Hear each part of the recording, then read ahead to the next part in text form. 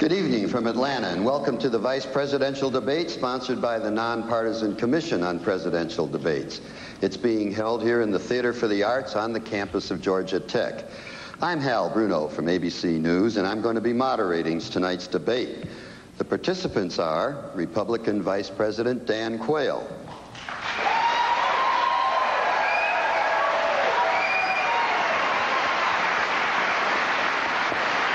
uh, Democratic Senator Al Gore,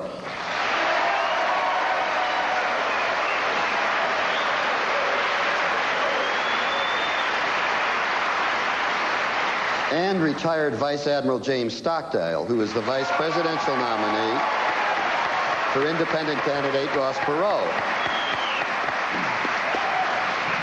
Now, the ground rules for tonight's debate. Each candidate will have two minutes for an opening statement. I will then present the issues to be discussed.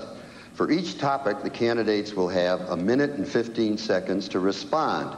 Then this will be followed by a five-minute discussion period in which they can ask questions of each other if they so choose. Now, the order of response has been determined by a drawing and uh, will rotate with each topic. At the end of the debate, each candidate will have two minutes for a closing statement. Uh, our radio and TV audience should uh, know that the candidates were given an equal allocation of auditorium seats for their supporters. So I'd like to ask the audience here in the theater to please refrain from applause or any partisan demonstration once the debate is underway because it takes time away from the candidates. So with that plea from your moderator, uh, let's get started. And we'll turn first to Senator Gore for his opening statement. Good evening. It's great to be here in Atlanta for this debate where America will be showcased to the world when the 1996 Olympics are put on right here. It's appropriate because, in a real sense, our discussion this evening will be about what kind of nation we want to be four years from now. It's also a pleasure to be with my two opponents this evening. Admiral Stockdale, may I say it's a special honor to share this stage with you. Those of us who served in Vietnam looked at you as a national hero even before you were awarded the Congressional Medal of Honor.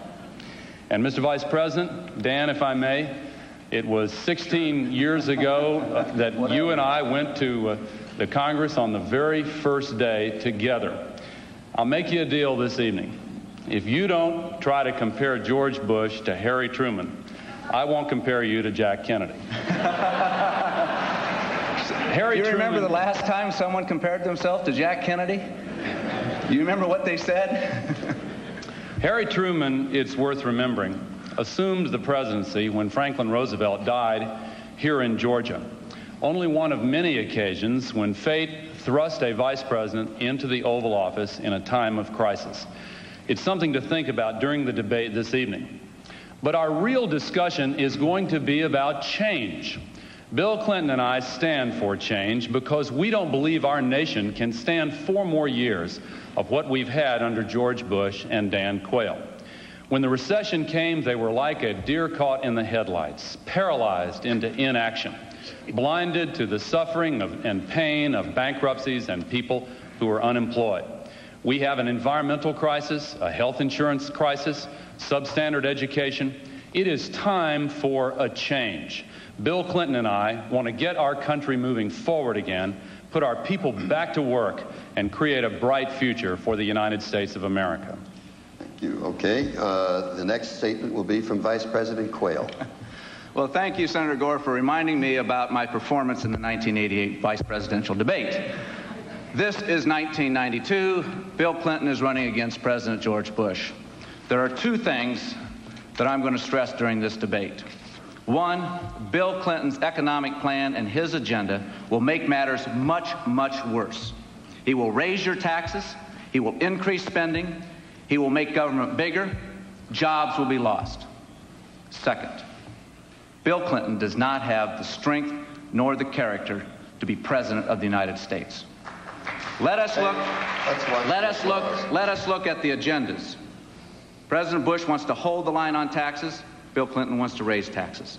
President Bush is for a balanced budget amendment. Bill Clinton is opposed to it. We want to reform the legal system because it's too costly. Bill Clinton wants the status quo. We want to reform the health care system. Bill Clinton wants to ration health care. Bill Clinton wants to empower government. We want to empower people. In St. Louis, Missouri, In June of this year, Bill Clinton said this America is the mockery of the world. He is wrong. At some time during these next four years, there is going to be a crisis. There will be an international crisis. I can't tell you where it's going to be. I can't even tell you the circumstances, but it will happen. We need a president who has the experience, who has been tested, who has the integrity and qualifications to handle the crisis. The president has been tested. The president has the integrity and the character. The choice is yours. You need to have a president you can trust. Can you really trust Bill Clinton? Admiral Stockdale, your opening statement, please, sir. Who am I? Why am I here?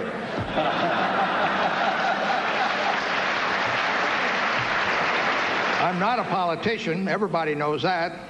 So don't expect me to use the language of the Washington Insider. 37 years in the Navy, and only one of them up there in Washington. And now I'm an academic. The centerpiece of my life was the Vietnam War. I was there the day it started. I led the first bombing raid against North Vietnam. I was there the day it ended, and I was there for everything in between.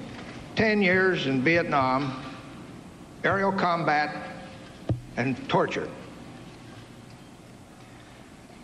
I know things about the Vietnam War better than anybody in the world. I know some things about the Vietnam War better than anybody in the world. And I know how governments, how, you, how American governments can be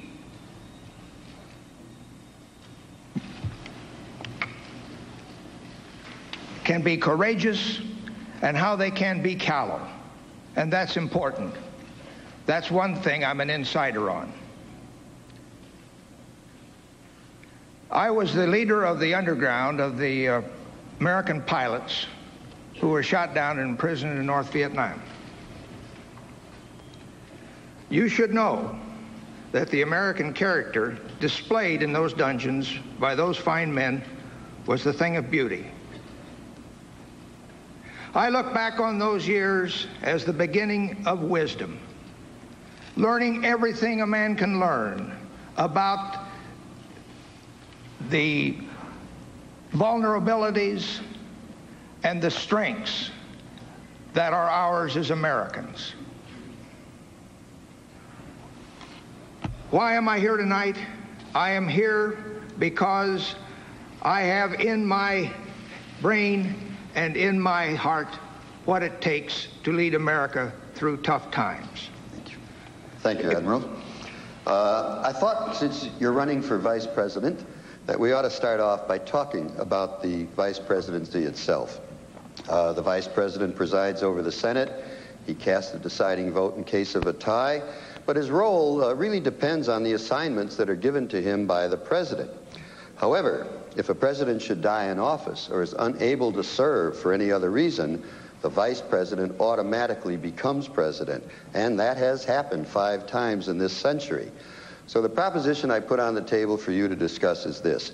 What role would each of you like to play as vice president? What areas interest you? And what are your qualifications to serve as president if necessary? In the case of Vice President Quayle, who we're starting with, I suppose you tell us the role that you did play in the first term and what you'd like to do in the second term. Go ahead, sir. Well, then I won't give you that answer. Qualifications. I've been there, Hal. Uh, I've done the job. I've been tested. I've been vice president for four years. Senator Gore referred to us being elected to the Congress together in 1976.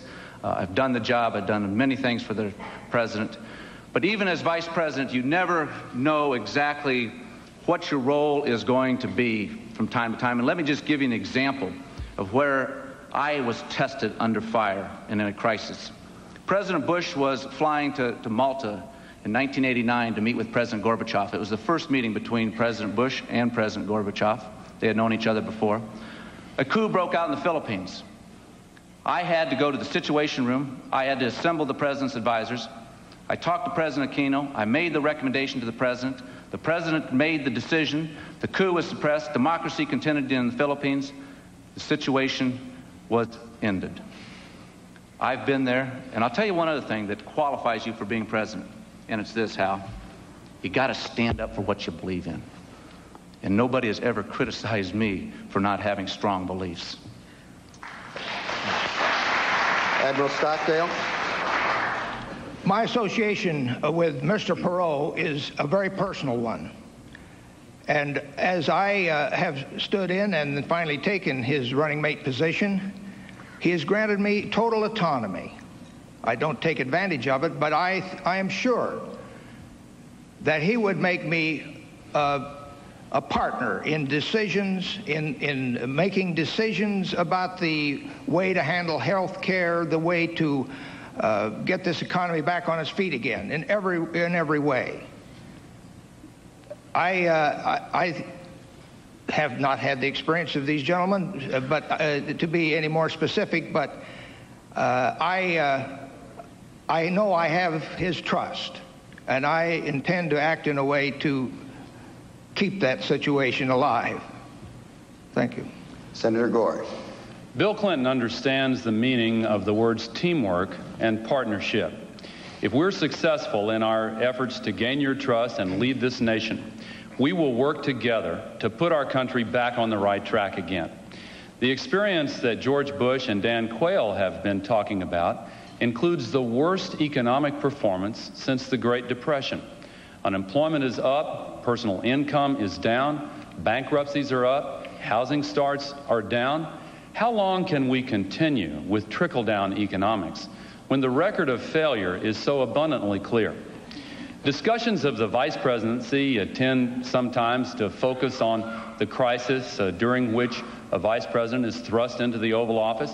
And indeed, one third of the vice presidents who have served have been uh, moved into uh, the White House. But the teamwork and partnership beforehand, uh, and hopefully that situation never happens, how you work together is critically important. The way we work together in this campaign is one sample. Now, I'd like to say in response to Vice President uh, Quayle, he talked about Malta and the Philippines. George Bush is concentrated on every other country in the world. When are you guys going to start worrying about our people here in the United States of America and get our country moving again? well, again, I, I, will ask the audience, please do not applaud. It takes time from the candidates. All right. Uh, now we have five minutes for discussion. Well, the, and go ahead, Vice the President answer to that is very simple. That we aren't we are not going to raise taxes to create new jobs. We have a plan to create new jobs, but that wasn't the question. The question dealt with qualifications. Teamwork and partnership may be fine in the Congress, uh, Senator Gore.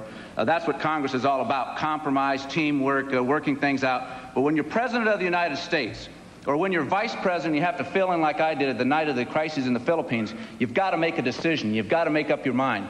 Bill Clinton, running for president of the United States, said this about the Persian Gulf War. He said, Had I been in the Senate, I would have voted with the majority if it was a close vote. But I agreed with the arguments of the minority. You can't have it both ways. You have to make a decision. You cannot sit there in an international crisis and sit there and say, well, on one hand, it's this is okay, and on the other hand, this is okay. You've got to make the decision. President Bush has made the decisions. He's been tested. He's got the experience. He's got the qualification. He's got the integrity to be our president for the next Mr. four Vice years. Uh, Admiral Stockdale, it's your turn to respond next, and then Senator Gore will have his chance to respond. Okay, I thought this was just a uh, an open session, this five-minute well, thing, and I didn't have anything to add to his, but I will. Well, I'll jump in if you, if you don't. I, I, I, I, I, thought anyone could jump in whenever they wanted okay, to. Okay, whatever pleases you, gentlemen, is fine with me. I'll you're let y'all figure out. But, but, but, I want, but I want Admiral Stockdale's time. well, this is not the I'll Senate. Let, uh, this is, this is let, not the Senate where you can trade off time. Go ahead, I'll Senator let y'all Gore. figure out the rules. I've got some points that I want to make here, and I still haven't gotten an answer to my question on when you guys are going to start worrying about this country. But I want to elaborate why, on it before. Why, why doesn't the Democratic talk, Congress? Why doesn't the Democratic I, Congress I, pass I the President's jobs bill? Let, let him I was say very his thoughts, patient and then you can come in. letting you get off that string of attacks. We've been listening to uh, to trickle down economics for 12 years now, and y'all still support trickle down to the very last drop. And you know, talking about this point of concentrating on every other country in the world as opposed to the people of our country right here at home, when George Bush took former Secretary of State Baker out of the State Department and put him in charge of the campaign and made him Chief of Staff in the White House. Mr. Baker, who's a, quite a capable man, said that for these last four years, George Bush was working on the problems of the rest of the world, and in the next four years, uh, he would target America. Well, I want you to know we really appreciate that. But Bill Clinton and I will target America from day one. We won't wait four years before we concentrate on the problems in this country. He went on to say that it's really amazing what George Bush can do when he concentrates. Well, it's time that we had a president like Bill Clinton who can concentrate and will concentrate and work on the problems of real people in this country. You know, our country is in trouble. We simply not, cannot continue with this philosophy of giving huge tax cuts to the very wealthy, raising taxes on middle income families the way Bush and Quayle have done, and then waiting for it to work. How much longer will it take, Dan, for trickle down economics to work in your theory? Well, we're going to have plenty of time to talk about trickle-down government, which you're for. But well, I'd the, like the question, to hear the answer. But the question is, the question is, which you have failed to address, and that is, why is Bill Clinton qualified to be president of the United States? You've talked about oh, Jim. you've talked about that. Jim Baker. You've talked about trickle-down oh, uh, economics. You've the talked about the worst about, economy in 50 years. You I'll haven't be happy told to us answer. one reason the, why the, Bill the Clinton question is qualified to be president of the I'll be United happy, States. I'll be happy Hal, to. I, I, want to go back and make a point. Well, you've asked me a question. Let me, if, if you want to answer my question, I will answer yours. I've made a statement. I have not asked a question. I've made a statement that you have not told us why Bill Clinton is qualified to be president of the United States. I pointed out what he said about the Persian Gulf War. But let me repeat it for you. Here's what he said, Senator. You know full you well want me to answer your question? I'm making a statement, then you can answer it. All right. Can, can we give Admiral Stockdale a chance to come in here, me, please? But and he again, said, audience. Hal, here's what he said. If the vote, I mean, this is the Persian Gulf War the most important right. event in his political lifetime. And here's what Bill Clinton says: right, we've, we've, If it's a close vote, I'd vote with the majority. Right. Let's let's give but Admiral if, Stockdale but I a chance with the minority. to come in. That qualifies you for being president of the United States. I hope America is listening very closely to this debate tonight. And I and think America is seeing right now the reason this uh, nation is in gridlock.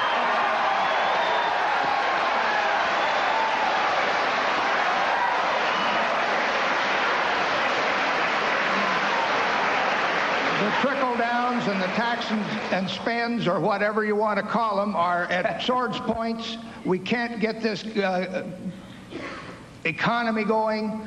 Over here we've got Dan who's uh, president is going to take eight years to balance the budget.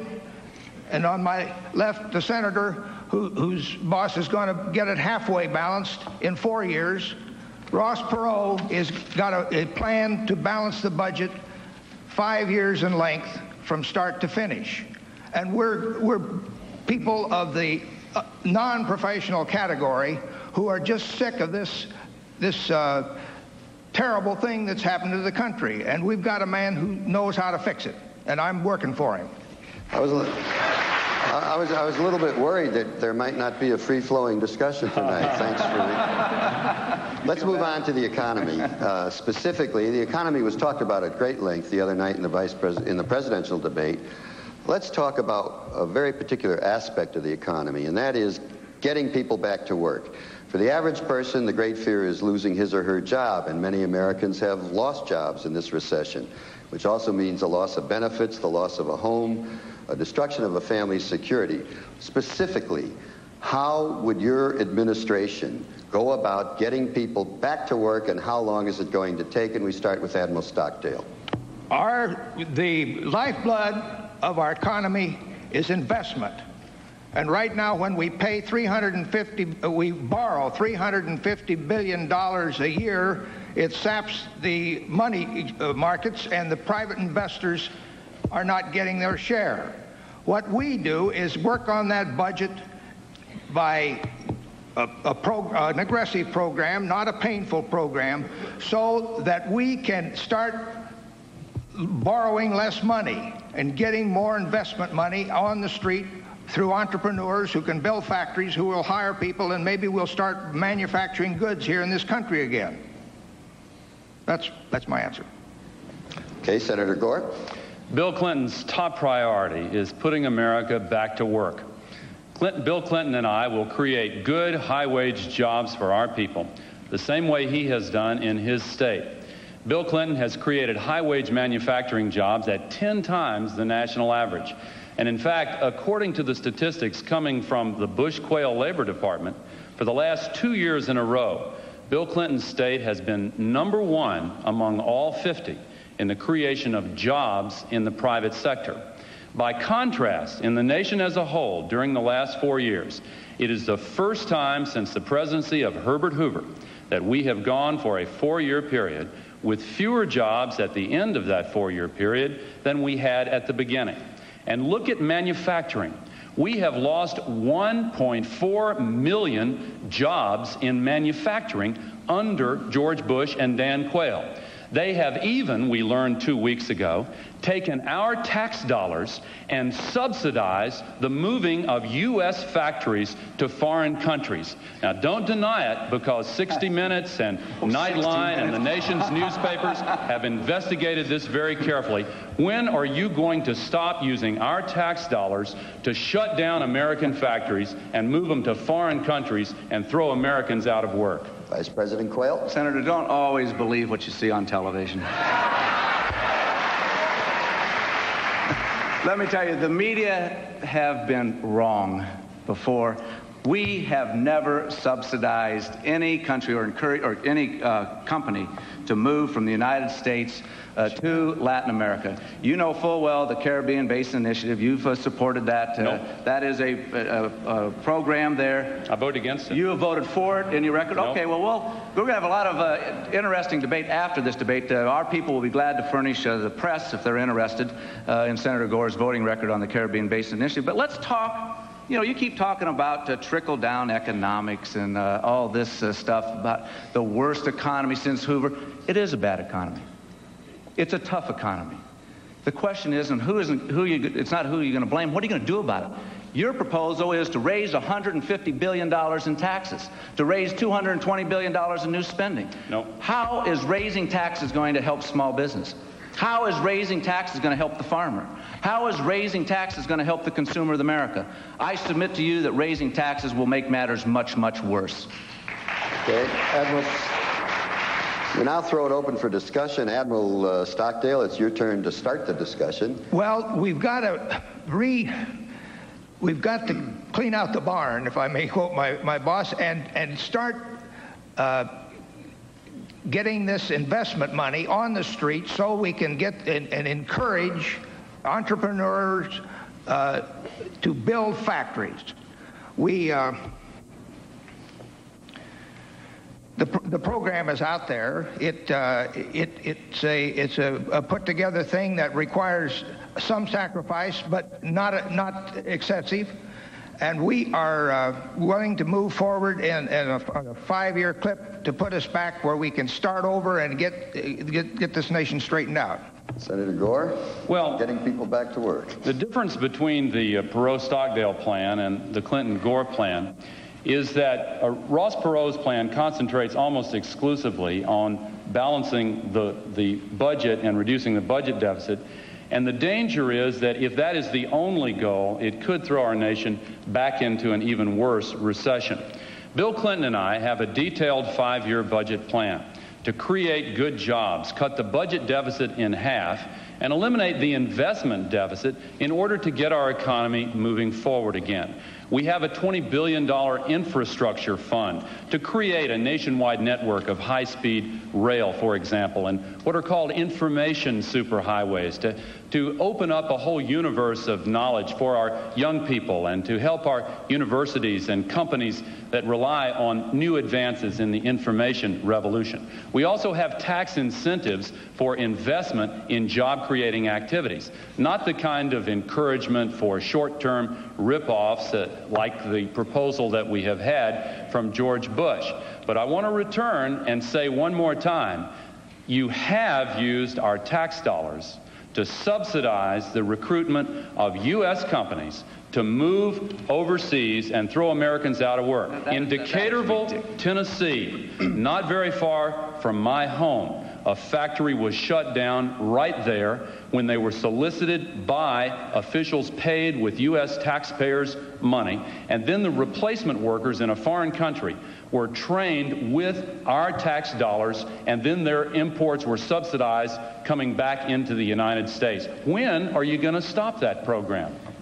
We, we are not, we do not have, we do not have any program that encourages companies to close down here and to go and invest in foreign, uh, on foreign soil. That is absolutely outrageous. Of course, American businesses do have business abroad.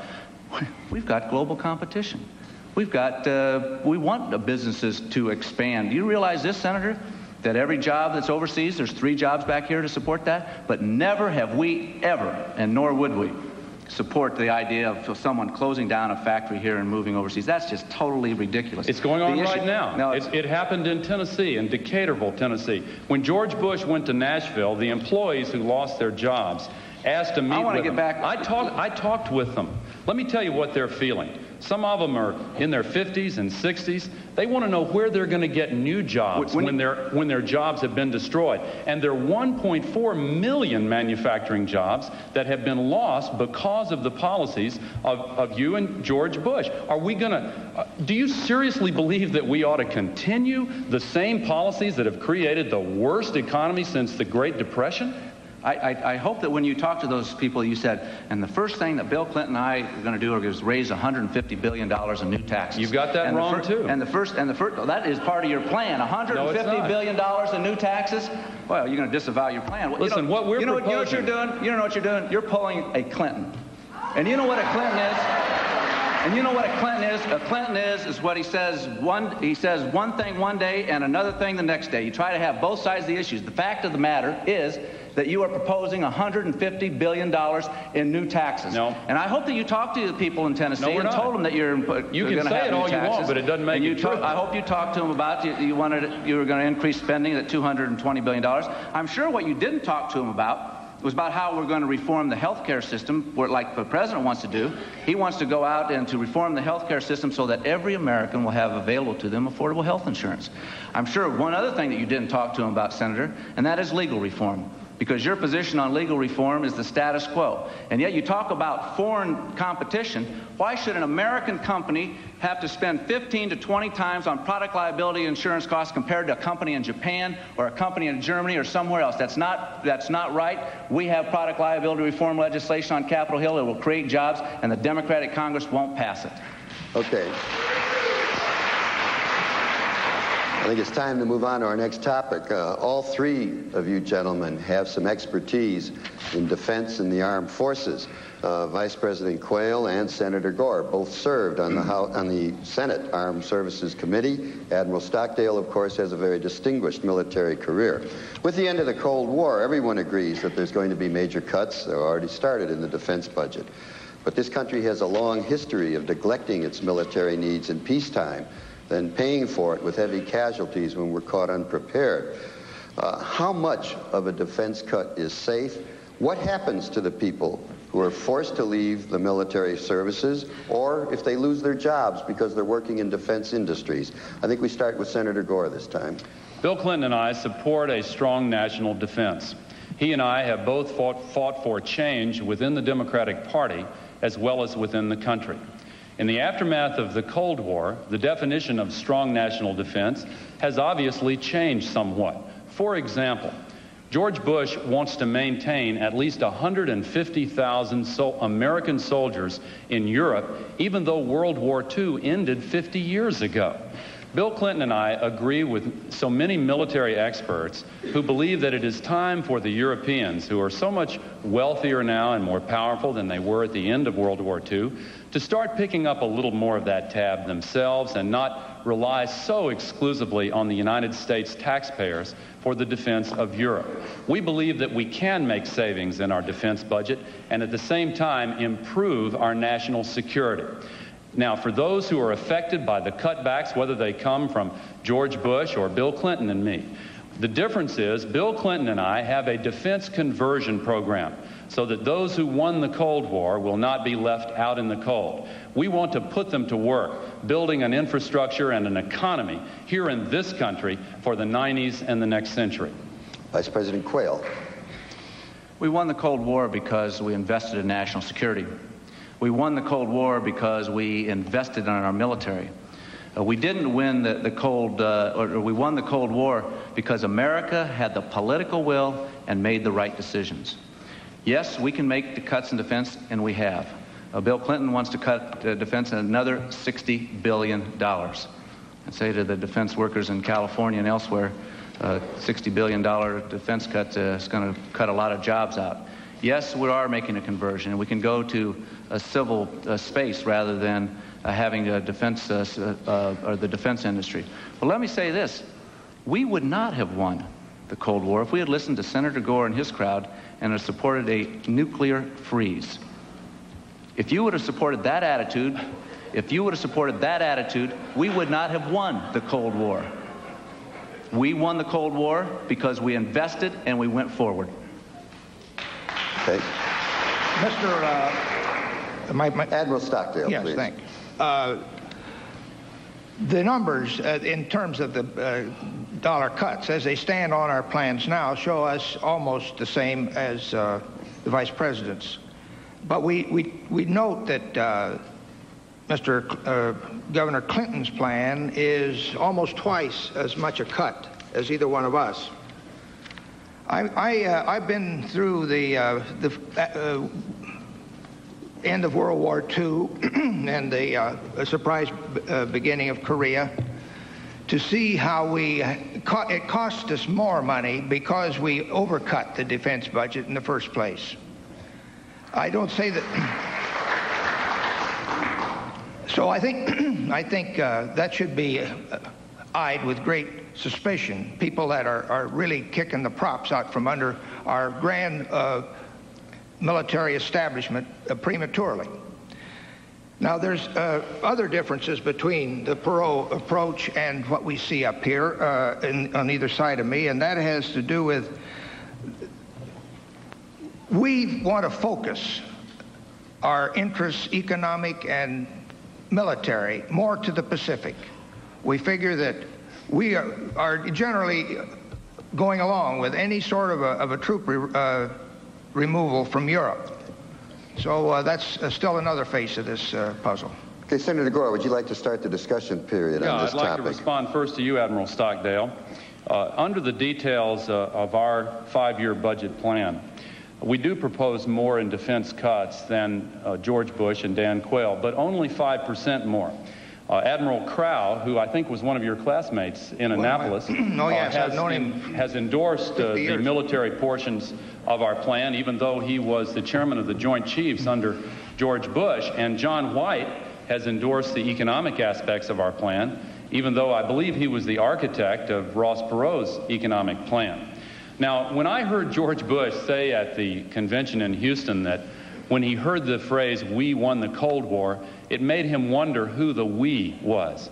Well, I want to tell you, President Bush, the we is the people of the United States of America. This wasn't a partisan victory that came suddenly a few months after you took the oath of office.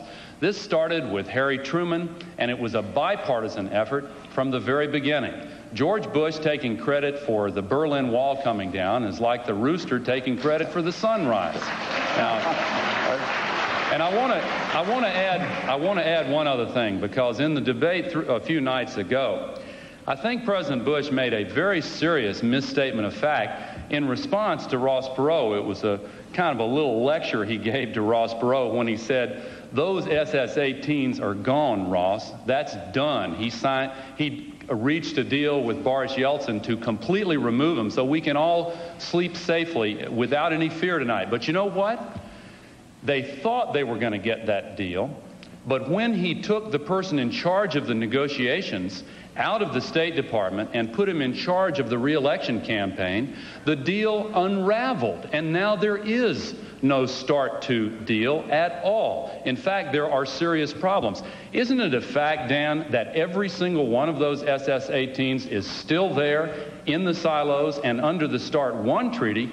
Only half of the silos are supposed to be dismantled, and there is no deal to get rid of the other half. Didn't the president make a mistake the there? no, Senator, uh, Vice President Quayle, The president please. does have a commitment from Boris Yeltsin to, to eliminate the SS-18s. That is a commitment. Is it an agreement? It is a commitment, and uh, we. Oh, we- whoa. It's, it is So- a, well, let's let's talk. Let's let's let's talk. Let's let's talk about. Well, he let's, said it's let's talk done. about. Let, Let's let- talk. let him, let him talk, Senator. Just lighten up here, Al. Go ahead. Let's, let's, talk, let's talk about getting agreements. You know, the President of the United States doesn't just negotiate with your friends in Congress. The President of the United States deals on the international scene. He's got to deal with the President of Russia. He's got to deal with the Chancellor of Germany, Prime Minister of Britain, President of France, Prime Minister of Japan. He's got to deal with a whole host of leaders around the world. And the leaders sit down and they will negotiate and they will come to agreements with people that they trust. And this is a fundamental problem with Bill Clinton, is trust and character. It is not the issue of how he avoided military service 20 some years ago. It's the fact. It's the fact that he does not tell the truth about it. He first said he didn't get an induction notice, then we find out that he did. He said he didn't have an ROTC slot, then we find out he did. He said he didn't use Senator Fulbright's office for special influence, then we find out that he did. These are inconsistencies. Bill Clinton has trouble telling the truth, and he will have a very difficult time dealing with somebody like President Yeltsin or Chancellor Kohl or Prime Minister Major or President Mitterrand because truth and integrity are prerequisites to being President of the United States. I want to respond to that. I want to respond to that. George Bush, in case you've forgotten, Dan, said, read my lips, no new taxes. Read my lips. And you know what? I didn't He think I was also gonna hear that tonight. Hold on, let me finish. Okay. He also said he wanted to be the environmental president. Then he went on to say he wanted to be the education president. Then he said that he wouldn't raise taxes again. No, never, ever, ever. Then the next day, his spokesman, Marlin Fitzwater, came out and said, that's not a pledge. Then two weeks ago, he said that after the election, if you win, then James Baker's going to go back to be Secretary of State. Then a week later, in the debate a few nights ago, he said, no, after the election, if we win, James Baker is going to be in charge of domestic policy. Which is it, Dan? Is he going to, what's your role in this going to be? Well, we'll have to move on to another topic. No, I'm sorry, Mr. Vice President. No. I don't have, You- ti- I don't have time to no, respond to you- that. you- You'll get plenty of chance to respond, so don't Oh, worry. I, I was, okay, you're the moderator. I was Uh, under the assumption Yeah, that when no, they well, did it we, like that, we that you ran had a out of chance to time respond. according to the agreement. Uh, It's time to move on, got and I want to stick got to the the last word on agreement. that, but we'll come back to But it. you'll have a chance. I can see what's happening here. We throw out the topic and then we drift, but that's okay because I think it's making for a healthy exchange. The only thing I would ask I'm of you- enjoying it. The only thing I would ask of you gentlemen is when we get to the discussion period, whoever talks first, uh, be considerate of the others because you have a tendency to filibuster. Okay, Well, let's go over on. there. Okay. I'm not pointing any fingers. Uh, let's talk about the environment. We'll get away from controversy. Uh, everyone wants a safe and clean environment. Uh, but there's an ongoing conflict between environmental protection and the need for economic growth and jobs. So the point I throw out on the table is how do you resolve this conflict between protection of the environment and growth and jobs? And why has it taken so long to deal with basic problems such as toxic waste dumps, clean air, and clean water? And Vice President Quayle, it's your turn to start first. Hell, that's a false choice. You don't have to have a choice between the environment and jobs. You can have both. Look at the president's record. Clean air legislation passed the Democratic Congress because of the leadership of George Bush. It is the most comprehensive Clean Air Act in our history. We are firmly behind a, uh, preserving our environment, and we have a good record uh, with which to stand. The question comes about what is going to be their position when it comes to the environment. I say it's a false choice. There, you ought to ask somebody in Michigan, a UAW worker in Michigan, if they're thinking increasing the CAFE standards, the fuel economy standards to 45 miles a gallon is a good idea. 300,000 people out of work. You ought to talk to the timber people in the Northwest, where they say that, uh, well, we can only save the oil, forget about jobs. You ought to talk to the coal miners. They're talking about talking about uh, putting a coal tax on. They're talking a tax on utilities, a tax on gasoline, home heating oil, all sorts of taxes. No, Hal, the choice isn't the environment and jobs. With the right policies, prudent policies, we can have both. Admiral Stockdale. I, uh, I read uh, Senator Gore's book about uh, environment, and uh, I, uh, I don't see how he could possibly pay for his proposals in today's economic uh, climate. The, uh, you know, the Marshall Plan of Environment and so forth. Uh, and also, uh, I, I'm told by uh, some experts that uh, the things that he fears most may not be all that dangerous, according to some scientists. The, you know, you can overdo I'm told, environmental cleaning up. If you, uh, if you purify the pond, the water lilies die. The, uh, the uh, uh, you know, I love this planet and I want it to stay here, but I, uh, I don't like to have it uh, the private property of fanatics that want to overdo this thing. Senator Gore. Bill Clinton and I believe we can create millions of new jobs by leading the environmental revolution instead of dragging our feet and bringing up the rear. You know, Japan and Germany are both openly proclaiming to the world now that the biggest new market in the history of world business is the market for the new products and technologies that foster economic progress without environmental destruction. Why is uh, the Japanese business organization, the largest one they have, the Keidanren, arguing for tougher environmental standards than those embodied in U.S. law? Why is MITI, their trade organization, calling on all Japanese corporations everywhere in the world to exceed by as much as possible the environmental standards of every country in which they're operating? Well, maybe they're just dumb about business competition, but maybe they know something that George Bush and Dan Quayle don't know that the future will call for greater efficiency and greater environmental efficiency. This is a value, this is a, an issue that touches my basic values. I, I'm taught in my religious tradition that we are given dominion over the earth, but we're required to be good stewards of the earth, and that means to take care of it. We're not doing that now under the Bush Quayle policies. They have gutted the Clean Air Act. They have broken his pledge to be the environmental president. Bill Clinton and I will change that. Okay, discussion period now. Again, leave time for each other, please. Uh, Vice President Quayle, go ahead. Well, I, uh, I might, I'm tempted to yield to Admiral Stockdale on this. but I, I, you know, the, the, fact of the matter is, is that one of the proposals that Senator Gore has uh, suggested is to have the taxpayers of America uh, spend $100 billion a year on environmental projects in foreign countries. Just not foreign true. aid. Well, Senator, it's in, it's in your book on it's page not. 304. No, it's not. It is no, there. Not. It is no, in your book.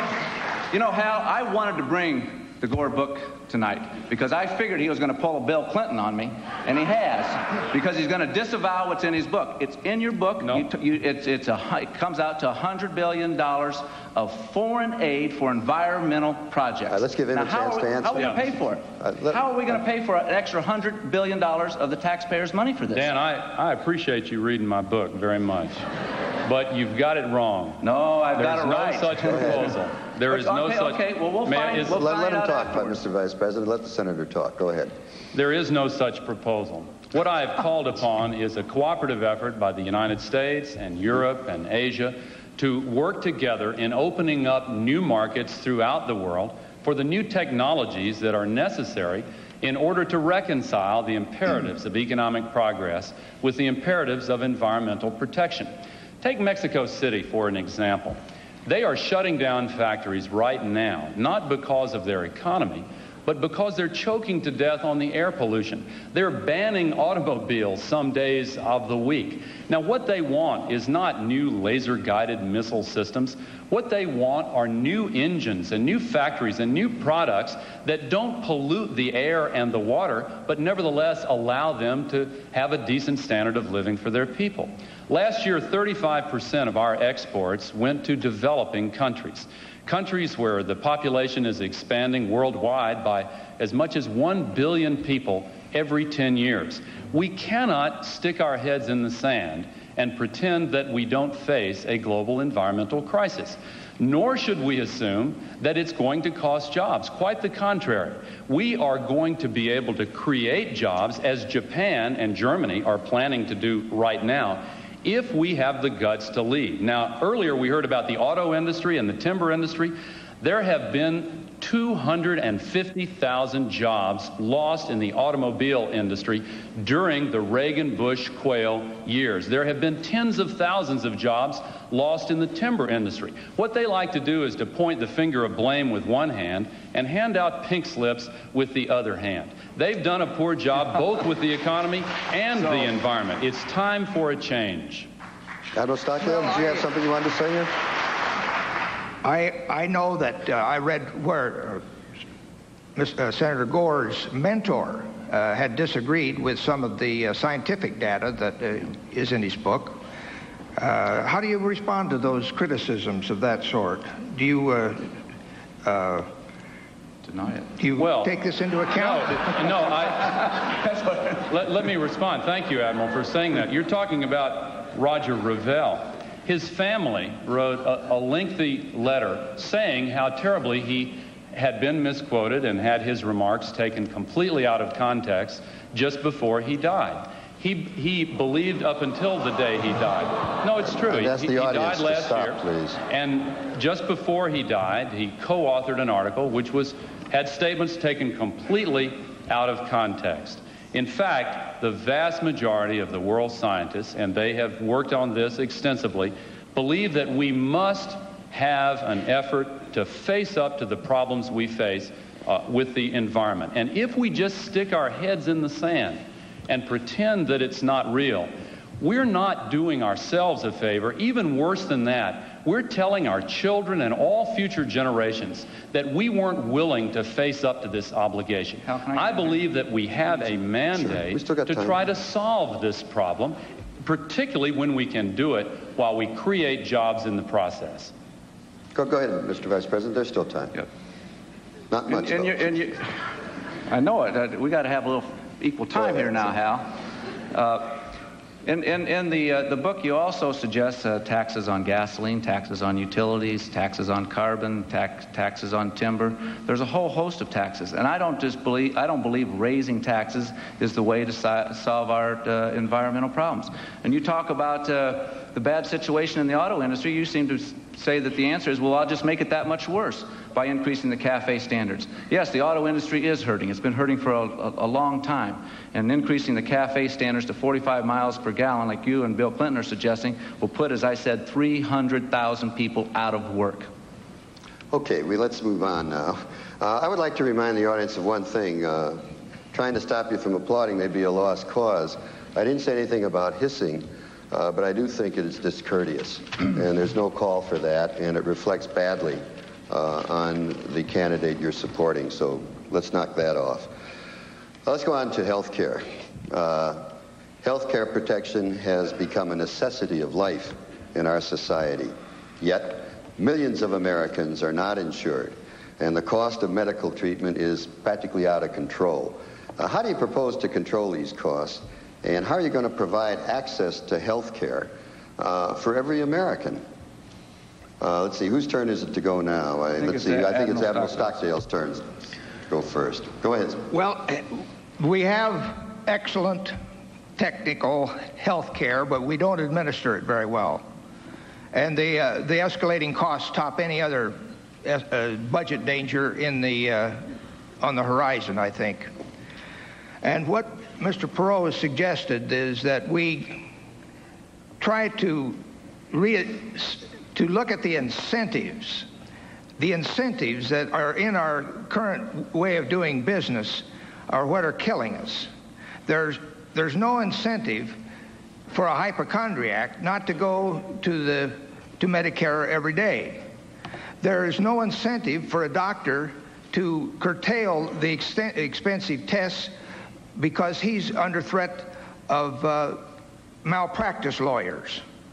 And, and so we, we just have uh, a a web of wrong way incentives that has to be changed by some people who are in the medical profession and some other crafty people who know how to write contracts to change incentives or get get the uh, the incentives situation under control. Senator Gore. Bill Clinton and I believe that if a criminal has the right to a lawyer, every American family ought to have the right to see a doctor of their own choosing when they need to see a doctor. There are almost 40 million Americans who work full time today and yet have no health insurance whatsoever. We are proposing to change that, not with a government run plan, not with new taxes, but with a new approach called managed competition. We are going to provide a standard health insurance package provided by private insurance companies and eliminate the duplication and red tape and overlap, and we're going to have cost controls to eliminate the unnecessary procedures that are costing so much money today. There was a bipartisan commission, evenly divided between Republicans and Democrats, who looked at our plan and the Bush Quayle proposal. They said ours will save tens of billions of dollars and cover every American. The Bush proposal, by contrast, will cost us tens of billions and still leave Americans uninsured. But what I want to know is why has George Bush waited for three and a half years during this health insurance crisis before finally coming out with a proposal just before the election, and he still hasn't introduced it in Congress? Why the long wait, Dan? Vice President? Al, President Bush has had his health care reform agenda on the Capitol Hill for eight months. He's had parts of it up there for years. You talk about increasing costs that the president has had on Capitol Hill, medical malpractice reform legislation for several years. Defensive medicine and health care today costs $20.7 billion. Defensive medicine defined as testing and treatment that is only necessary in case of a lawsuit. Wouldn't that be nice to take $20.7 billion that we're putting into our legal system and put it to uh, preventive health care or women's health care or something else besides uh, trial lawyers. But no, you don't want to reform the health care system to drive down costs through medical malpractice. What you're doing, you are talking about a government program. Your program is to ration health care. You said uh, in your uh, statement to see a doctor when you want to see a doctor. When you start rationing health care, there's going to be a waiting line to see a doctor unless it's an emergency. Remember when we rationed energy in this country? Waiting lines at the gasoline stations. The same thing would happen when you ration health care. The president's proposal deals with tax credits, deductions, and purchasing health care in the private sector and making health care affordable and available to every single American. Admiral Stockdale, would you like to start the discussion period? Well, uh, I'm out of ammunition on this. Well, let me talk then. because I- I've got a couple of things that Yeah, I go want to ahead, say. Senator. We still didn't get an answer to the question of why George Bush waited for three and a half years didn't wait during the a half years. national I did health the insurance crisis before he even made a proposal. And it still hasn't been submitted to Congress in the form of legislation. I also Certainly want to respond to the question about malpractice. Do you know which state has the lowest malpractice premiums in the entire country? Bill Clinton's Arkansas does, partly because he has passed reform measures limiting the time during which malpractice suits can be filed. In fact, tort claims generally have fallen 10% uh, under Bill Clinton there. But you know, uh, that's not the reason for this health insurance crisis. The reason is we've had absolutely no leadership. Let me tell you about a friend of mine named Mitch Philpott from Marietta, Georgia, not far from here, who Tipper and I met with his family in Johns Hopkins Hospital. Their son Brett was in the bed next to our son, and they couldn't pay their medical bills. They used to live in Atlanta, but they lost their house. And while they were there, both Mitch and his wife lost their jobs because they could not get unpaid leave. We passed legislation to give family leave under circumstances like that, exempting small business. How can you talk about family values, Dan, and twice veto the Family Medical Leave Act? Vice President? Pass, pass our Family Leave Act, and because it goes to small businesses, where the major problem is your proposal excluded small business. That's the that's the problem. Now let me talk about health care. Did I'm you glad require it? I, just, uh, my, Did you my require turn. it? My, my turn. Just Did you require family Lighten leave? up, Al. My turn. It's a free discussion. Take a breath out. Inhale. It's a free discussion. Did you require did you require family leave in that legislation, yes or no? We, rec- we offered incentives to small businesses. Yes or no? Is were small no, business were, were small business exempted under your proposal? Yes. Yes, and that's where the biggest problem Did you require it of business- anyone? I'm going to get back to the topic Did you again require because, it of because he obviously doesn't want to talk about health insurance or health care, which you uh, addressed. I, I was absolutely, oh, I shouldn't say that. Another Clinton. You pulled another Clinton on me because here you go again. Medical malpractice legislation has been before the Congress of the United States, and you try to convince the American people that Bill Clinton is for tort reform. The biggest campaign contributors to your campaign are the trial lawyers of America. We have a letter, and we're going to release it again to the media if the media is interested, where the head of the trial lawyers of Arkansas said that Bill Clinton was basically in their uh, back pocket, that Bill Clinton has always opposed tort reform of any kind. It's in the letter. We have it. We'll make it available because Bill Clinton is not for tort reform. I'd like to know where Bill Clinton stands on health insurance. When he's campaigning in New Hampshire, he says, I am for the pay or play health insurance. Pay or play, that's a 7 to 9% payroll tax on every worker in America that participates in this program. Can I respond? And then all of a sudden, this summer, he says, Oh, I'm not for a pay or play. Here we go again. Bill Clinton, one day he's for pay or play, the next day he's against pay or play. He does it in education. He says to writes Polly Williams, a Democrat state legislator in Milwaukee, Wisconsin, saying, I'm for choice in education. Then he goes to the NEA Teachers Union and says, Sorry, I'm not for choice in education because you won't let me be for choice in education. One time, Bill Clinton says, Term limits. We ought to limit terms. It's ridiculous that a member of Congress can serve for 30, 40, 50 years and you limit the terms of the president, but that's another subject. We're fixing to limit Bill- one. Yeah. We're gonna, we're gonna limit, we're gonna. It's not gonna be mine, it's gonna be people like you and Kennedy and Metzenbaum and George Mitchell and the rest of that Democratic Congress on Capitol Hill. That's who we're talking about, and that's who the American people, in case, as you well know, you've got term limits for a president, you don't have term limits for Congress, and I think it's absolutely ridiculous that we don't. I wanna But here respond goes, to here of goes. Bill, here goes Bill Clinton again. He says, well, term limits, that's an interesting idea. I think I might be in favor of that. Then his Democratic uh, friends in Congress say, no, Bill, you can't be for that. You know, Bill Clinton has trouble telling the truth. I, I want to Drifting respond to some of this. Tell the truth. I want to respond if I might. Go ahead, I might. Senator, quickly. You know, in response to my question before that long uh, laundry list, he said that they had their own family leave proposal. It was just like the proposal of your party back when Social Security was first proposed.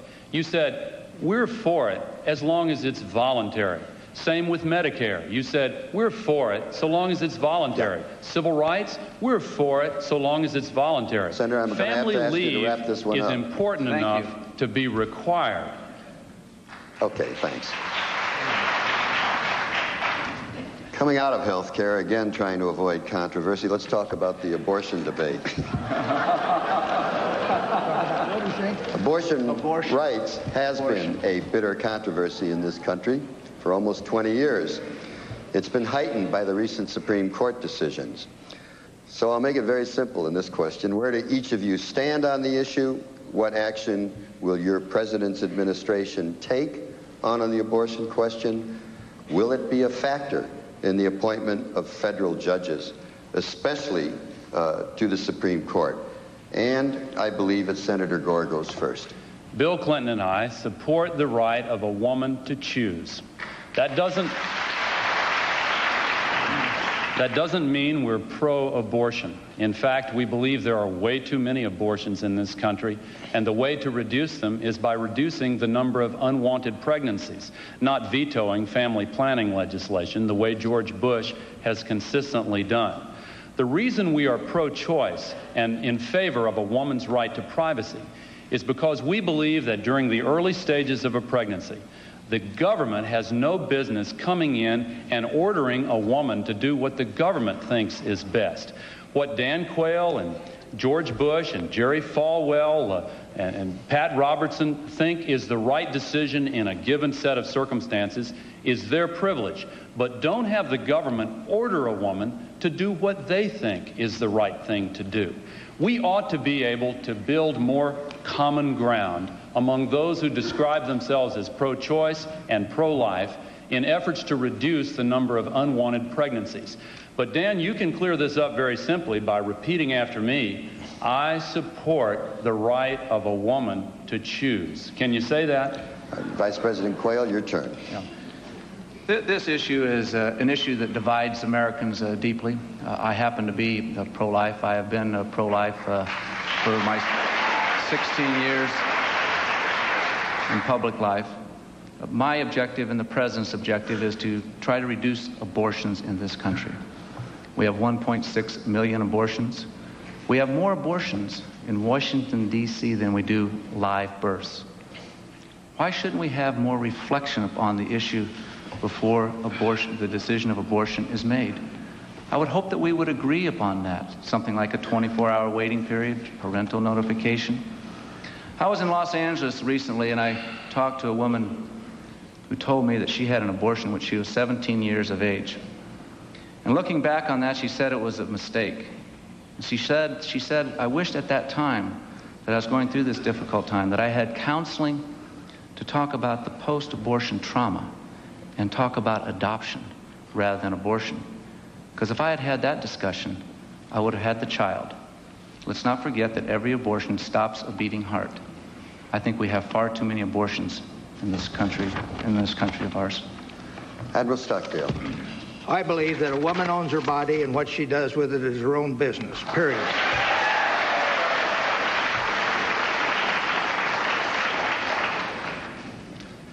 Period. That's it.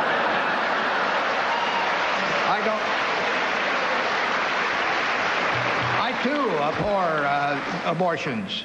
Uh, but I don't think they should be made illegal, and I don't, and I don't think it's a political issue. I think it's a, a privacy issue. Admiral, you caught me by surprise. Let's go ahead with the discussion of this issue. Senator Gore? Well, you notice uh, in his response that Dan did not say uh, I support the right of a woman to choose.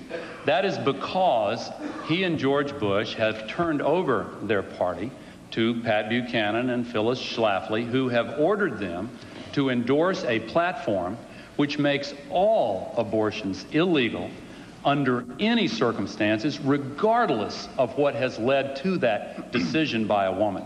Even in cases of rape and incest, their platform requires that a woman be penalized, that she not be allowed to make a choice if she believes, in consultation with her family, uh, her doctor, uh, and others, whoever she chooses, that she wants to have an abortion after rape or incest. They Senator, make it completely illegal under any of those circumstances. Now they want to waffle around on it. Let me finish just briefly. Now, now you want to waffle around on it and give the impression that maybe you don't really mean what you say. But again, you can clear it up by simply repeating, I support the right of a woman to choose. Say well, it. Let him say it himself. Let him say his own words. Go ahead, Mr. Thank, Vice thank President. Talk about waffling around. This issue is a very important issue. It has been debated throughout your public life and throughout my public life. And one thing that I don't think that is wise to do, and that is to change your position. At one time, and most of the time in the House of Representatives, you had a pro-life position. Simply not In true. 1987, you wrote a letter, and we'll pass this out to the media too. True. You wrote a letter saying that you oppose taxpayer funding of abortion. Bill Clinton has the same type in of a record. In some circumstances. No, we're going to qualify it now. And I still do. And Bill Clinton, Bill Clinton, when he was governor of Arkansas, also worked with the right to life people and supported right to life positions, and now he has changed. Talk about waffling around. It's This is the ty- typical type of Clinton response. On even on the issue like abortion, he's on both sides of the issue. Take the NAFTA agreement. Oh, wait How a long- minute. how No, long- no, no, let's stick how to long did he abortion, have to just wait I know you want to about change the the NAFTA subject, agreement? Dan, but let's stay How on this one how for a long- while. How long did how long did he have to wait, or how uh, quickly did he change his position on education? He changes his position all the time. Let's Bill stay with this issue Bill for a Clinton while. has trouble telling the truth. Okay. The Now- three words he fears most. Does anybody have any In view English about the appointment of tell judges the on this? truth. Yeah, I want to I want to talk about this because the question was not about free trade or education. The Let's talk question was waffling. about. You're let the me one that brought let up you the issue talk. of waffling. Dan, and he has let, I waffled let on the you abortion talk. issue. Let, let me talk now. It's going to be a long evening if you're if you're like this now because. No, no, it's not. Don't Let's get change the gentlemen, let's get subject. Don't change the subject because what you Would- have answer my what questions you have then. done. Answer my questions on the 24-hour waiting period. Do you support that? I have had Do the same that? position on abortion in favor of a woman's right to choose. Do you support a woman's right do you, to do you choose or support not? a 24-hour You're waiting period to still have reflection? avoiding- you're Talk still about avoiding the avoiding question. question. No, now wait a minute. Let me tell you why this is so important. There are millions of women in this country who passionately believe in the right of a woman to privacy, and they want to stack the Supreme Court with justices who will take away the right to privacy. Make no mistake about it, that is their agenda, and if you support them, don't be surprised that that is exactly what they want to want to do, and that is why Dan Quayle refuses to say this evening that he supports the right of a woman to choose. I agree with Admiral Stockdale and the vast majority of Democrats and Republicans in this country. You know, one of the reasons so many Republicans are supporting the Clinton Gore ticket is because they've turned over the party to this right wing extremist group which takes positions on issues like abortion that don't even allow exceptions Senator- for rape and incest. Again, can't you just say you support the right of a woman to choose? Can we give Admiral Stockdale a chance to jump in here if he wants to or if I he would dares like to uh, get in. I feel like I'm an observer at a ping pong game where they're talking about, well, uh, you know, they're expert professional politicians that massage these intricate plots and know every nuance to them. And meantime, we're facing a desperate situation in our economy. I've seen the cost of living double in my lifetime. A new granddaughter was born to, uh, in my family, my granddaughter, uh, three weeks ago.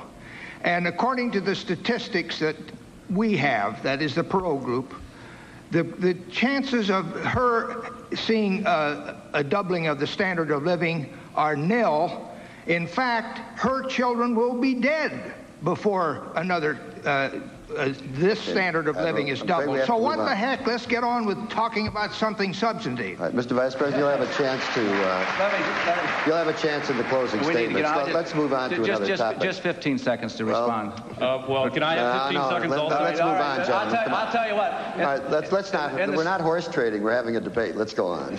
Uh, let's talk about the cities, because that's where a majority of Americans live, in urban areas, and they're facing a financial and social crisis. Uh, they've lost sources of tax revenue. The aid that once came from the federal and state governments has been drastically cut. Uh, there's an epidemic of drugs, crime, and violence. Their streets, their schools are like war zones. It's becoming increasingly difficult to pay for public education, for transportation, for police and fire protection, the basic services that local government must provide. Now, everybody says, talks about enterprise zones. That may be part of the solution, but what else are your administrations really going to be willing to do to help the cities? Uh, Vice President Quayle, it's your turn to go first. Well, hell, enterprise zones are important, and it's an, an idea that the president has been pushing. There's been very strong reluctance on with the Democratic Congress. Uh, we'll continue to push it. We also want uh, to have to have home ownership. I was at a housing sub uh, a housing project in San Francisco several months ago and met with people that were trying to reclaim their neighborhood. They wanted home ownership. They didn't want handouts. And I was with the Democrat mayor of San Francisco who was there supporting our idea. But when you look at the cities and you see the problems we have, crime, drugs, uh, lack of jobs, I also want to point out one of the fundamental problems that we have in our American cities and throughout America today, and that is the, the breakdown of the American family. I know some people laugh about it when I talk about the breakdown of the family, but it's true. 60% of the kids that are born in our major cities today are born out of wedlock. We have too many divorces. We have too many fathers that aren't assuming their responsibility. The breakdown of the family is a contributing factor to the problems that we have in urban America. Admiral Stockdale. I think enterprise zones are good, but I think the problem is deeper than that.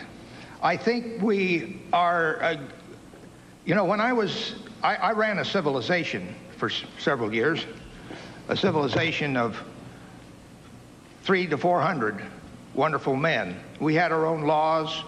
We had our own, practically our own constitution. And I put out, I was the, I was the sovereign for a good bit of that. And I tried to analyze human predicaments in that microcosm of uh, life in the, in, the, in, the, in the world. And I found out that when I really got down to putting out do's and don'ts, and lots of these included take torture for this and that and this and that, and never take any amnesty for reasons they all understood and, and went along with. But one of the, we had an acronym, BACK US, and each one of those BACK was something for which you, you had to make them hurt you uh, before you did it. B- bowing in public, saying, uh, make, making, getting on the radio and so forth. But at the end, it was U.S., back U.S. You got the double meaning there. But the U.S. could be called the United States, but it was unity over self. Loners make out. Somehow we're going to have to get some love in this country between races and between rich and poor. You've got to have leaders, and I, they're out there who can can do this with their bare hands, with working with with people on the on the scene. Senator Gore, please. George Bush's urban policy has been a tale of two cities. The best of times for the very wealthy, the worst of times for everyone else. We have seen a decline in urban America under the Bush Quayle administration. Bill Clinton and I want to change that by creating good jobs, investing in infrastructure, new programs in job training and apprenticeship, welfare reform, to say to a mother with young children that if she gets a good job, her children are not going to lose their Medicaid benefits. Incentives for investment in the inner city, city area. And, yes, enterprise zones. Vice President Quayle said they're important, but George Bush eliminated them from his urban plan. And then, Well, when they were when they were included We in a plan that the Congress zone. passed, George Bush vetoed the enterprise zone law, the law that included them, for one reason because that same bill raised taxes on those making more than $200,000 a year. Let's face up to it, Dan. Your top priority, really, isn't it, to make sure that the, the very wealthy don't have to pay any more taxes. We want to cut taxes on middle income families and raise them on those making more than $200,000 a year. And if What we can take our approach, So- the cities will What- be what much Okay, let's better start the discussion What plan- period right plan- here. Go ahead. What ahead. plan is that that's just going to raise uh, taxes on those making over $200,000 a year? Uh, you may call that uh, your plan, but everyone knows that you simply can't get $150 billion in new taxes by raising the, t- high, the, the marginal tax rate to a top rate of 36% and only tax those making $200,000 a year. It's absolutely ridiculous. The top 2%, which you refer to, that gets you down to $64,000. Then you have about a $40 billion shortfall. That gets you down to $36,000 a year. Everybody making more than $36,000 a year will have their taxes increased if Bill Clinton is president of the United States. And I don't know how you're going to go to urban America and say that raising taxes is good for you. I don't know how you're going to go to, to urban America and say, well, the best thing that we want to, or the best thing that we can offer is simply to raise taxes again. This is nothing more than a tax and spend uh, a platform. We've seen it before. It doesn't work. Let me tell you about a story. Uh, can I respond well, to some well, of why that? don't you I've got, a very. I've got a very good example. Can I want to talk respond you to some of about when we talk about families here. Because I was meeting with some former gang members in Phoenix, in Los Angeles, and Albuquerque, New Mexico. And when I talked to those former gang members, here's what they told me why they joined the gang. They said, well, joining a gang is like joining a family. I said, joining a family? Yes, because the gang offered support, it offered leadership, it offered comfort. It was a way to get ahead. Where have we come if joining a gang is like being a member of the family? Senator and that's Gore, you why I think respond? Yeah, I families have to be strengthened, and you don't strengthen the American family by raising taxes. Go ahead. I do want to respond Go to ahead, that. Senator. Admiral. George Bush and Dan Quayle want to protect the very wealthy. That, tho- that is the group that has gotten all of the tax cuts under the, the Bush Quayle administration. Nobody here who is middle income has gotten a tax cut because middle income families have had tax increases under Bush and Quayle in order to finance the cuts for the very wealthy. That's what trickle down economics is all about, and they want to continue it.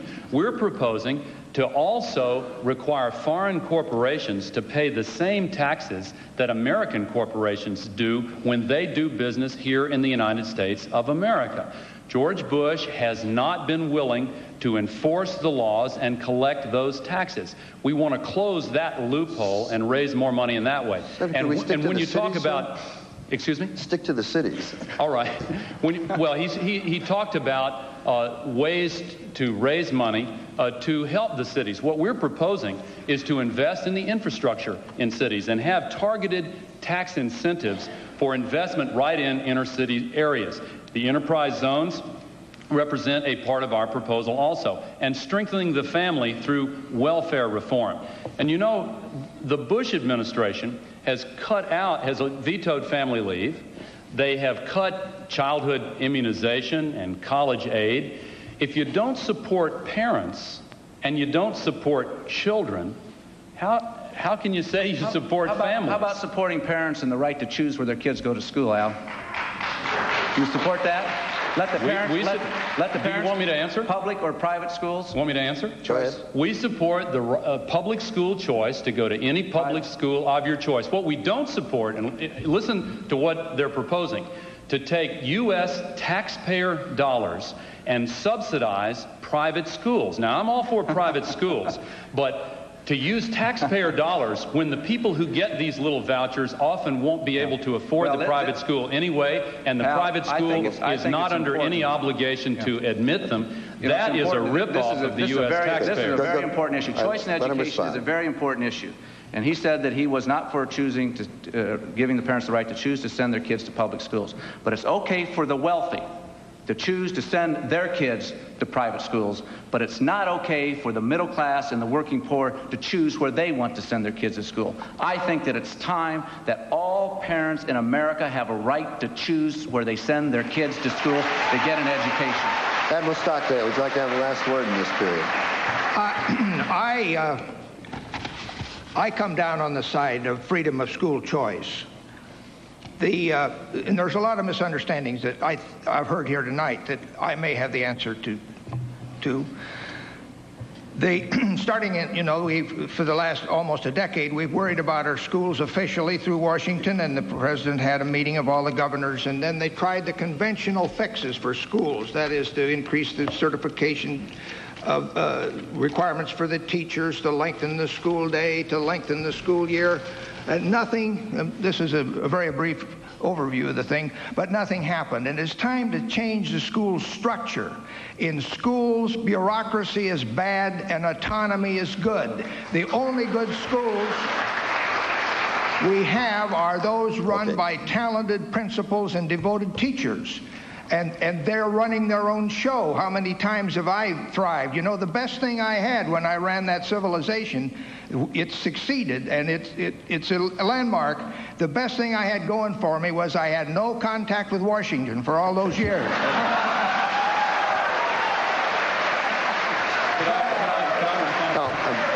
We have to go on. Uh, what I'm about to say doesn't apply to the debate tonight. It applies to the campaign that's been going on outside this auditorium. With three weeks to go, this campaign has at times been very ugly, uh, with the tone being set by personal negative attacks. As candidates, how does it look from your viewpoint? And are these tactics really necessary? Uh, Admiral Stockdale, it's your turn to go. You know. I, I didn't have my hearing aid turned Oh, on. I'm Tell me sir. again. Uh, I, was, I was saying that at times this campaign has been very ugly with personal negative attacks. As a candidate, how does it look from where you are? And are these tactics really necessary?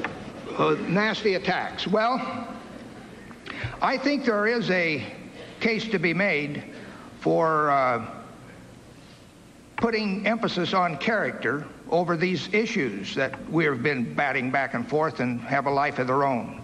Sure, you have to know where you're going with your government, but character is the big variable in the success. Character of the leaders is the big variable in the success, long-term success of an administration. I went to a, a friend of mine in New York some years ago, and he was the president of a major network, a TV network, and he said, you know, I think we, we have messed up this whole this election process. It was an election year by stressing that that uh, putting out the, the dogma that issues are the thing to talk about, not character. He said, I felt so strongly about this, I went back and read the Lincoln Douglas debates. Read those debates. How do they come down? Douglas is all character. He knows all of the little uh, stinky numbers these guys do. Abraham Lincoln had character. Thank God we got the right president in the Civil War. But that is a question that is a valid one. And you know, I would like to brag about okay. the character of my boss. Senator Gore. This election is about the future of our country, not about personal attacks against one candidate or another. Our nation is in trouble. And it is appalling to me that with 10 million Americans out of work, with the rest working harder for less money than they did four years ago, with the loss of 1.4 million manufacturing jobs in our nation, with a health care crisis, a crisis of crime and drugs and AIDS, substandard education, that George Bush would constantly try to level personal attacks at his opponent. Now, this, of course, just reached a new low last week when he resorted to a classic McCarthyite technique of trying to smear Bill Clinton uh, over a trip that he took as a student, along with lots of other Rhodes Scholars who were invited to go to Russia. It's a class- classic McCarthyite smear technique. I think the President of the United States ought to apologize. I think that he uh, insulted the intelligence of the American people, and I'm awful proud that the American people rejected that tactic so overwhelmingly that he decided he had made a mistake. Do you think it was a mistake too, Dan? Okay.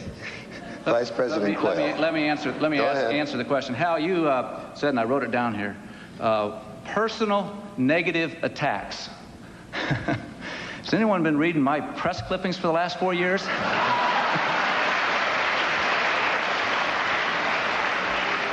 But I, I happen to, I agree with one thing on, uh, with, with Senator Gore, and that is that we ought to look to the future. And the future is who's going to be the next president of the United States. And is it a negative attack and a personal attack to point out that uh, Bill Clinton simply does not, has trouble telling the truth? he said that he didn't organize, or he didn't even demonstrate. He told the people in Arkansas in 1978. Then we found out he organized demonstrations. You know, I don't care whether he demonstrated or didn't demonstrate. The fact, the, the question is, tell the truth. Just tell us the truth. Today, Bill Clinton, or excuse me, yesterday in Philadelphia on a radio show, just yesterday on a radio show, he attacks Admiral, he attacks uh, Ross Perot saying the media is giving uh, Ross Perot a free ride. The press asked him when the Klieg lights are on, said, what do you mean by Ross Perot getting a free ride? And he says, I didn't say that at all. I mean, I mean you can't have it both ways. No, I don't think that is a personal attack. Uh, what, I, what I find troubling with, with Bill Clinton is he can't tell the truth. You cannot lead this great country of ours by misleading the people. All right, gentlemen, uh, the control room uh, advises me that in order to have time for your closing statements, which we certainly want, there simply is not going to be time for a discussion period on this particular topic. So let's go to the closing statements. You have two minutes each, and we'll start with Admiral Stockdale. I think uh, the best justification for getting Ross Perot in the in the race again and uh, to stay is that we're seeing this this uh, kind of uh, chit chat back and forth about issues that don't concentrate on where our grandchildren are going with the living standards of our children and grandchildren. He is, as I've read in more than one article, a, a revolutionary. A, he's a he's a he's got plans out there that are going to double the uh, the speed at which this uh, budget problem is, is being cared for. It was asked how, if we could, we, we would squeeze down so fast that we would uh, strangle the, the economy in the process.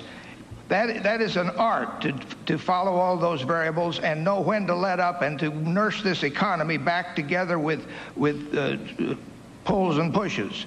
And that there's no better man in the world to do that than that old artist Ross Perot.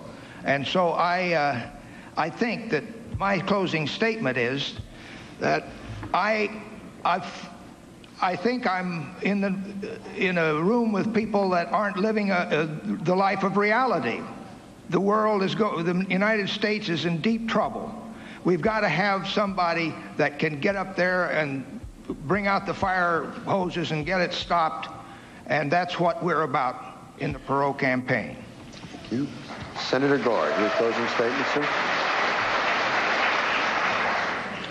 Three weeks from today, our nation will make a fateful decision. We can continue traveling the road we have been on which has led to higher unemployment and worse economic times, or we can reach out for change. If we choose change, it will require us to reach down inside ourselves to find the courage to take a new direction. Sometimes it seems deceptively easy to continue with the old habits even when they're no longer good for us. Trickle down economics simply does not work we have had an increase in all of the things that should be decreasing. Everything that should have been increasing has been going down. We have got to change direction. Bill Clinton offers a new approach. He has been named by the other 49 governors, Republicans and Democrats alike, as the best and most effective governor in the entire United States of America. He's moved 17,000 people off the welfare rolls and onto payrolls. He has introduced innovations in health care and education. And again, he, he has led the nation for the last two years in a row in the creation of jobs in the private sector. Isn't it time for a new approach, a new generation of ideas and leadership to put our nation's people first and to get our economy moving again? We simply cannot stand to continue with this failed approach that is no good for us. Ultimately, it is a choice between hope and fear, a choice between the future and the past. It is time to reach out for a better nation we are bigger than George Bush has told us we are as a nation, and we have a much brighter future. Give us a chance. With your help, we'll change this country, and we can't wait to get started.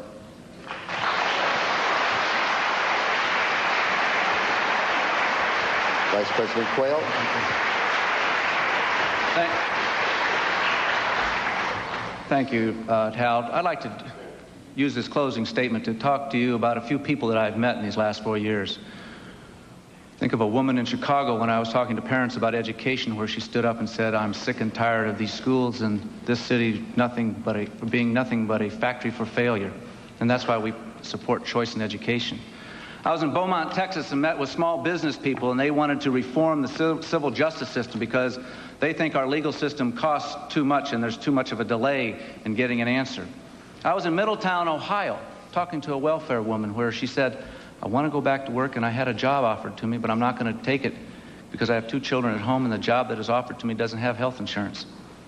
Under President Bush's health care reform package, that woman won't have to make a choice about going back to work or health care for her children because she'll have both. I was in Vilnius, Lithuania, Independence Square, speaking to 10,000 people in the middle of winter. Hundreds of people came up to me and said, God bless America. Yes, in the next four years, as I said, somewhere, sometime, there's going to be a crisis. And you need to have a president that is qualified, has the experience, and has been tested. Not one time during this evening, during 90 minutes, did Al Gore tell us why Bill Clinton is qualified to be president. He never answered my charges that Bill Clinton has trouble telling the truth. The choice is yours. Do the American people should demand that their president tell the truth. Do you really believe? Do you really believe Bill Clinton will tell the truth? And do you Do you trust Bill Clinton to be your president?